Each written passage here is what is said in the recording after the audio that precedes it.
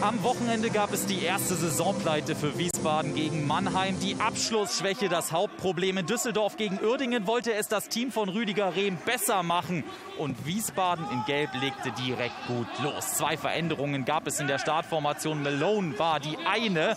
Er legt ab und dann kommt diese wunderbare Hereingabe von Korte direkt auf den Kopf von Johannes Wurz. 13. Minute, die 1 zu 0 Führung.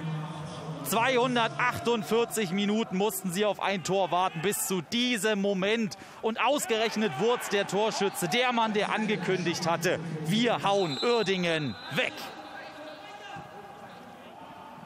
Wie reagiert Uerdingen? Wie reagieren die Hausherren über Osave nur eine Minute später? Osave fast mit dem Ausgleich doch genau hingesehen. Erst einmal hat sich Osave bei dieser Szene wehgetan, weil hier nämlich Medic angerauscht kommt und der trifft ihn. Strittige Situation. Man hätte auf Strafstoß entscheiden können. Osave in jedem Fall. Das allererste Mal nach auskurierten Muskelfaserriss wieder dabei. Er musste kurze Zeit später ausgewechselt werden, verletzungsbedingt. Bitter, bitter. Und die Gäste, sie machten damit weiter, wo sie aufgehört hatten. 31. Minute, das zweite Tor. Wieder ist es Johannes Wurz. Wieder geht es über die linke Seite. Wieder ist es alles viel zu schnell für die Hausherren. Wurz artistisch. Zweiter Doppelpack der Saison, alle vier Saisontore erzielte Wurz auswärts. Noch immer ist Durchgang Nummer 1 nicht rum. Wieder über links Korte. Der sieht diesmal Malone und der hat ein ganz feines Füßchen. 36. Spielminute. Malone belohnt sich für eine ganz starke Vorstellung. Das erste Mal in der Startformation.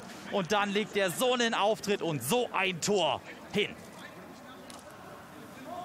Noch immer war nicht Pause. Uerdingen gab sich trotz großem Rückstand nicht auf. Markusen trifft nur den Pfosten. Der Mann, der für den verletzten Osave reinkam. Ansonsten der KfC extrem harmlos. Anders die Gäste. Korte allen voran. Der zieht einfach mal ab. 41. Minute trifft aber nur die Latte. Stefan Krämer komplett frustriert. Dabei hatte sein Team am Wochenende gegen Zwickau den ersten Saisonsieg geholt.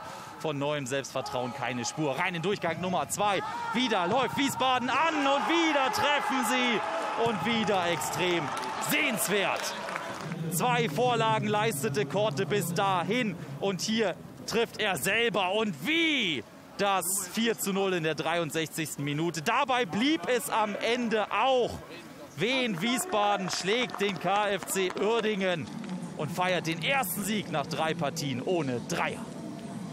Aber wieder die Mannschaft, äh, die es wirklich sehr, sehr gut gemacht hat, auch den einen oder anderen äh, zu ersetzen heute mal, mal jemand anders aufs Feld zu schicken. Ja, die haben es gut gemacht, haben es gut umgesetzt. Also ich glaube, da gibt es einige, äh, die da vorne richtig guten Betrieb gemacht haben und die Defensive stand auch wie eine Eins. Ja, wobei in der ersten Halbzeit, muss ich sagen, war das Ergebnis höher, als wir die Leistung von uns gebracht haben.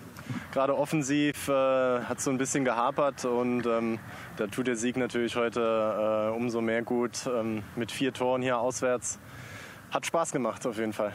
Das war mit Ball bis zum 0-2 alles noch halbwegs in Ordnung.